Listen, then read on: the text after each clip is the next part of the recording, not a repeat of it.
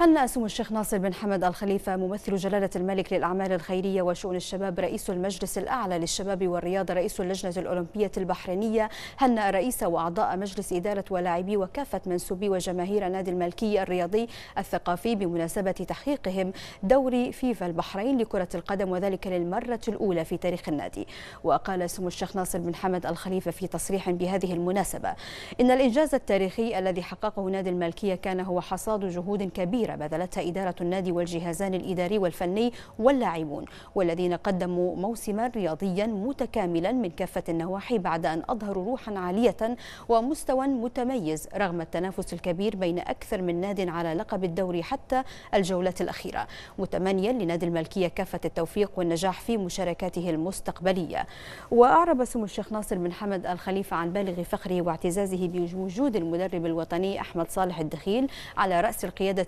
الفنية لنادي الملكية الأمر الذي يعكس الكفاءة العالية التي يتمتع بها المدرب البحريني الذي أظهر قدرات وإمكانيات كبيرة من خلال قيادة فرقه لتحقيق الإنجازات المحلية والخارجية.